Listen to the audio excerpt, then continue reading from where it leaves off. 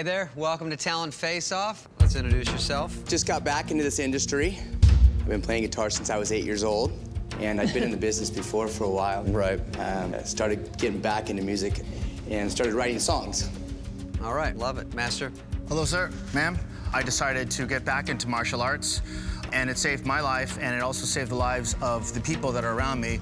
All right, love it. You may know me, David Spade. This is Liz Carey. Hi. Legendary talent manager. Fatima does our face-off in Europe.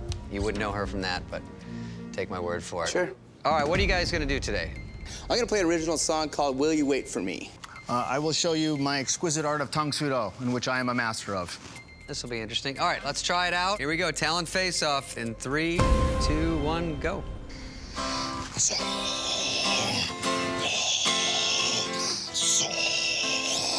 We're gonna do it together, all of us. We're just going for It's it. uh, face off.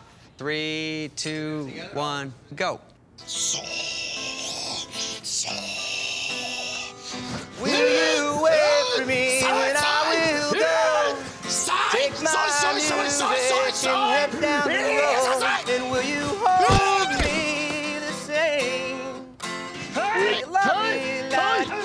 Used to, babe? Knowing that you'll still be at home when I come. Arms wide open and a house full of love. Okay, okay. All right, Master.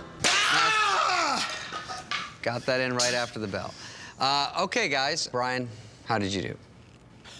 I thought it was very interesting. I've never done this before. I, I, I know he's kicking some butt over here. I can hear him. I believe that his guitar playing was very distracting to me, and that's why I didn't break that last board. You thought he was distracting. I felt he was very distracting, sir. You shouldn't be distracted, especially if you're going to be in a gang fight someday, because, you know, there's going to be a lot of chaos going There's on. never an acoustic guitar in a gang fight, though. No one's ever Well, singing that's about not that's not necessarily true.